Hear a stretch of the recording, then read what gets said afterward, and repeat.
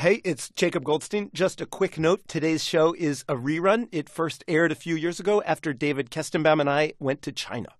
Hey, 欢迎你们来到 Planet Money. That's right. Hello and welcome to Planet Money. I'm David Kestenbaum. And I'm Jacob Goldstein. Today, the story of a secret document written in a small village and hidden in the roof of a mud hut. The people who signed this document, they were afraid it might get them executed. Instead, it wound up completely transforming China's economy. But before we get to that secret document in the roof of a mud hut that transformed the country, let's just get a feel for where China is today. Let's let's start out on a train. Ladies and gentlemen, welcome to the Beijing Shanghai Express train. Ladies and gentlemen, this is not just any train. This is part of China's new bullet train network, the largest in the world. It is a great pleasure to have you on board. I want some speed though. Like, so far it's just uh, like a train. I want a little more bullet. Then some conductor pushes the bullet train button or whatever, and it starts to move. Faster. There's actually a readout that tells us our speed 130 kilometers an hour. 138, 140. Tops out at over 300 kilometers per hour. That's over 200 miles an hour. It makes Amtrak look primitive. Bullet train stations here, they are these huge gleaming things like airports. And what's really striking about this whole picture is just how far China has come in just a few decades. Our story happens in 1978, a year when most Americans had cars and garages. I was nine years old, sitting on the couch watching Welcome Back Kotter on television. Your contemporaries in China at this time, David, for the most part, they didn't even have electricity. And you could argue that this transformation, that change that took China from mud huts to bullet trains, started in a single small village in rural China. The village is called Xiaogang, and we went there. It's very nice to meet you. Thank you for talking to us. Oh, no, there's no, it's no trouble. Thank you for coming. This is Yen Jin Chao, and by the way, none of the people we talked to in Xiaogang spoke English, so what you're hearing here is a translation. Yen Jin Chao, he's one of the people who started China on this path to bullet trains. And one of the really fun things about reporting on China's economy is well, so if you're in the US and you want to talk to one of the founding fathers of the US economy, you want to talk to Alexander Hamilton, you're out of luck. He's been dead for hundreds of years. But in China, a lot of these key people, they're still around. Yen Jin Chao is not an economist, he's not a politician. He runs a small restaurant in Xiaogang. 30 years ago, when all this happened, he was a farmer. Yenjin Chao opens a big metal gate behind his restaurant, and he takes us out to the fields where he used to farm. Back in 1978, everyone here worked on a collective farm. Look, you can grow things in winter. Mao, Mao Zedong had just died, and it was still basically the height of communism in China. And on our visit to this village, we actually spent a long time just trying to figure out how the system worked on a communist farm. The basic idea was that people would work together for the common good. And in this world, as Yenjin Chao explains it, nobody owns anything. I used oxen to farm, but they weren't mine. They belonged to the group. Back then, even a piece of straw belonged to the group. Individuals didn't own anything. At one meeting with Communist Party officials, one farmer asked, What about the teeth in my head? Do I own those? No, was the answer. Your teeth belong to the collective. Everything in this world was centrally planned. The farmers were told what to plant by a Communist Party official from outside the village, and sometimes they were told to grow rice even if they didn't have enough water to properly grow rice. Yenjin Chao says back in this era, every morning a whistle would blow to mark the start of the workday. Sometimes the guy blowing it would have to blow it twice. The farmers would drag themselves out of their huts and go to work on the fields. At the end of the day, the whistle would blow again and everyone would stop. You'd get points for working all day, but it didn't matter how much or how hard you worked. You just had to show up. Even if you had decided to go out early and pull weeds or something, it wouldn't make a difference for you. Work hard, don't work hard, everyone gets the same. So people don't want to work. And after the harvest, the government collects what everyone has grown and gives the village an allotment of food. But in the case of Xiaogang, the allotment was never enough. So they were hungry all the time. Their kids never had enough to eat. And Yan Jingchao and the other Xiaogang farmers, they had to walk to other villages and beg for food. We were farmers. We were supposed to produce food. To beg for food was not honorable. We felt very ashamed. It was hard to knock on doors and beg for food. My face was burning. This is the way things were all over China. This is basically the way the entire economy was set up. So the farmers in Xiaogang were starving, and they needed to do something. One farmer in particular was pushing for a change.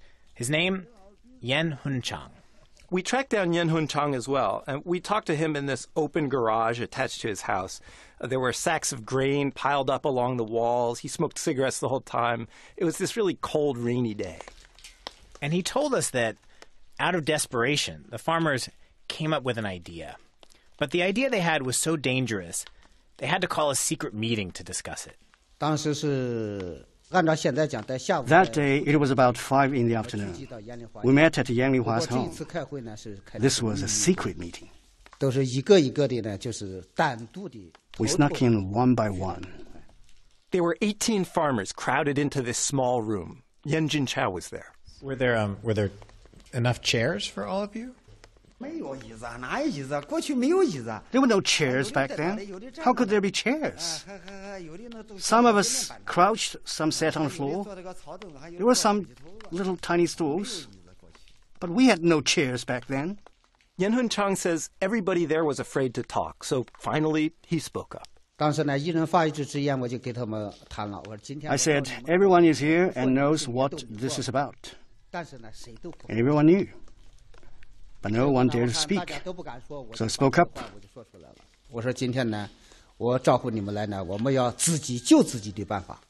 I said we are all here because we have to find a way to save ourselves. To save themselves, they have an idea that is both revolutionary and as old as dirt. Rather than farm as a collective, each family gets to farm its own plot of land. And if a family grows a lot of food, that family gets to keep some of that food. You own what you grow. But owning in communist China in 1978, that's something like treason. I was scared. But if you were too scared, you wouldn't be able to do it. And that wouldn't work. So, in this little dirt floored room by the light of a broken down oil lamp, these farmers are talking about this idea.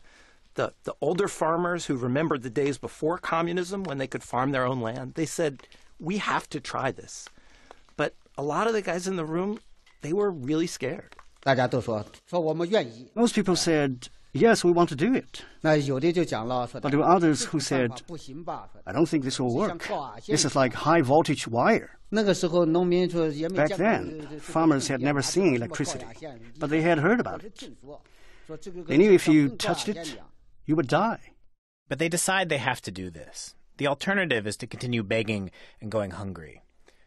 They decide they need to write this down, write down a contract laying out how this is going to work, and put their names on it so they're all bound to it, so no one can go back on it. There's only one problem. Paper, just plain paper, is hard to come by in Xiaogang in 1978. Yan Hunchang told us he was going to write on a cigarette pack, but it turns out this other farmer had some paper, so he runs to get it. And Yan Hunchang writes this historic thing. It's short, it's just a few sentences long. Do you remember the exact words that you wrote? 我自己写的，我当然记得了。I wrote it myself. Of course, I remember. Can you tell it to us? 我们分田到户，每户户主签字盖章。We will divide up the farmland between the families. The head of each family signs or stamps his approval. Each family will give a share of the crop to the government and the collective at the end of the year. If we are put in prison or executed, we will not complain, and the others in the group will raise our children to 18 years old. They are, in a sense, the first capitalists of modern China. Their livelihood is in their own hands. If it works, they'll have enough to eat. If they get discovered, they could be killed. But one by one, the farmers come forward to sign on to the contract. They realize they need to hide this thing, and eventually, Yan Hunchang winds up slipping it inside a piece of bamboo in the roof of his house. Yan Jingchao remembers the first day he went out to farm after they signed the contract. It just felt different.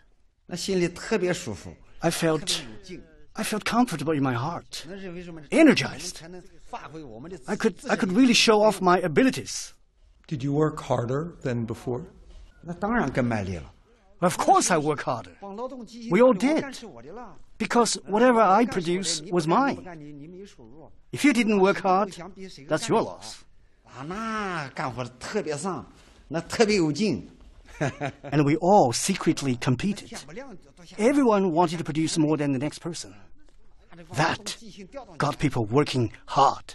It's amazing to think this is the same land, they have the same tools, it's the same farmers, but just by changing the economic rules, just by saying you get to keep some of what you grow, everything changes. Ah, we started to work before the sun came up, and we worked until it was dark. This working all the time thing actually gets them into trouble. Yan Chao says the neighbors noticed it, and they started to suspect something funny was going on. Why were these crazy farmers going out to work before the whistle blew, before dawn? And why were they working so late? And at harvest time, there was an even bigger problem. It was impossible to hide. They had an enormous harvest. It was more food, according to Yan Hunchang, than they had grown in the previous five years combined. It was both exciting and terrifying. One day, Yan Hunchang gets a call from some local party officials. They summon him to their offices. When he gets there, he says they swear at him and they treat him like he's on death row. They say they're going to lock him up. Fortunately for Yan Hunchang, at this moment in history, there is this really broad debate going on in China. There are powerful people within the party who are saying, we need to try some economic experiments. And in fact, the regional party chief in this area, he was one of these pro reform guys. And he had visited Yan Hunchang and had said to him, What you're doing here, it looks interesting. You should keep at it. So when Yan Hunchang gets called in, he begs for permission to make one phone call. He gets it and he calls the regional party chief, the guy who'd been supportive. And luckily for him, the official answers the phone. But the local official next to Yan Hunchang, he grabs the phone away from him. Uh, he grabbed the phone, but I could still hear what the regional party chief was saying. He said, do not change anything. I approved this experiment. Allow him to continue working on the farm.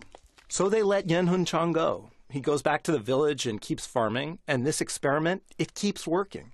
Eventually, word of what's happening in Xiaogang makes it up the chain of command through the Communist Party to the very top, to Deng Xiaoping, the guy basically running China at this time. Deng Xiaoping is one of the pro reform guys. At this moment, he is poised to become the key reformer who creates China's modern economy. Deng Xiaoping has been wanting to change the way farming works in China, and he likes what's happening in Xiaogang, but this is still communist China. It's just two years after the death of Mao, and lots of people are opposed to what's going on in Xiaogang. So Deng can't say anything bad about Mao or collective farming. Deng's big picture idea is let's not worry about whether something is capitalist or communist or socialist. Let's worry about whether it works. There's this famous quote that's attributed to Deng that, David, we actually heard all the time when we were in China. It's, it doesn't matter if a cat is white or black. As long as it catches mice, it's a good cat. Deng Xiaoping doesn't stand up in public and give these Xiaogang farmers medals. He's quieter about it. He decides to have these two writers tell the story. He calls them in and says, I support this. You guys should go tell the Xiaogang story to the rest of China. And pretty soon, people all over China are farming like the people in Xiaogang. Farmers own what they grow. The government starts trying out other economic experiments. Factories spring up in cities along the coast. China lets foreign companies in. Coca Cola opens a plant in Beijing. And China's economy grows like crazy. And this crazy economic growth, it has gone on and on for more than 30 years now. Since the farmers in Xiaogang signed that contract, something like 500 million people in China have risen out of poverty. They moved from mud huts with dirt floors and oil lamps to houses with electricity. They've moved into a world of cities and high rises and new roads and bullet trains. People all over China know the one sentence version of the Xiaogang story. If you're driving by the town on the highway, there's a little sign by the highway exit. There's a small museum in town telling the story of the contract. And it is this incredible, true story that marks the beginning of China's economic rise. But when you look at what has happened in Xiaogang since then, things get complicated. They get especially complicated when it comes to Yan Hunchang, the guy who should be sort of a hero of modern China, the guy who was the first one to speak at the meeting, who actually wrote the contract and hid it in his roof. But on our first day in town, when we asked the local Communist Party officials if we could talk to Yan Chang, they told us he was out of town. But we went back to Xiaogang the next day, and we found Yan Chang, which is why you heard him in the story. We asked him if he had been out of town. Were you here yesterday? I was here yesterday. We were told you were not here yesterday. Oh, I was here yesterday. When you ask about what happened in that hut in 1978, everybody agrees. Everybody tells the same story. But when you ask about what has happened in Xiaogang since then, Yan Hun Chang and the party officials, they tell two very different stories. The official version is that everything in town is great. New factories are springing up, there are lots of jobs. Xiaogang is living happily ever after. Yan Hun Chang says he's had a different experience. He says he started a few businesses over the years, but once they became profitable, the government took them away from him. He also says those new factories springing up around town, a lot of them are just empty. Local officials say none of this is true. The tension you hear, though, really throughout the Xiaogang story between free enterprise and state control, that is everywhere in China today. The government has let go of some parts of the economy, but it's holding on tightly to other parts. That fancy bullet train network, for example, is run by the government. And in 2011, there was a collision that killed 40 people. The head of the railway ministry was arrested on corruption charges. More generally, there is a question about whether China's economic growth will continue, or if maybe, not too far off, the country's incredible run will run out.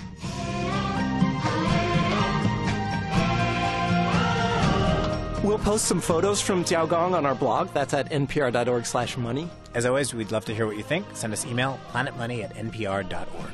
I'm Jacob Goldstein. And I'm David Kestenbaum. Thanks for listening.